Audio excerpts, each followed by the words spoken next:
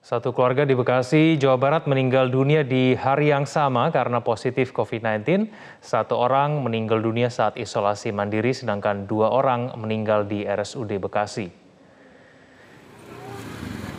Satu jenazah pasien COVID-19 langsung dievakuasi di rumahnya di perumahan Duta Keranji, Bekasi. Pasien yang meninggal saat isolasi mandiri ini meninggal pada hari Selasa yang lalu. Di hari yang sama, dua anggota keluarga lainnya juga meninggal dunia karena COVID di RSUD Bekasi. Menurut RW setempat, dua anggota keluarga ini merupakan warga Duta Keranji, sementara satu anggota keluarga lainnya yang merupakan mertua dari pemilik rumah adalah warga Cikarang.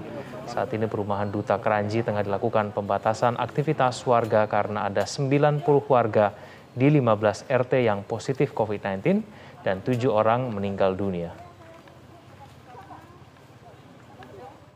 Pen, yang meninggal sekarang ini Pak Bejo memang mertu, uh, orang tua dari ibu dia dan sedang berisoma di sini karena dijadikan satu dengan COVID yang lainnya di rumah sini.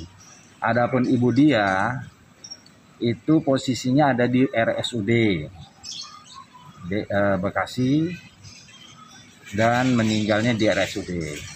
Dan kebetulan besan atau mertua daripada ibu dia atau orang tua dari Arif Susanto, Arif Susanto itu tinggalnya di daerah Cikarang dan ke, secara kebetulan dia sedang dirawat juga di RSUD Bekasi.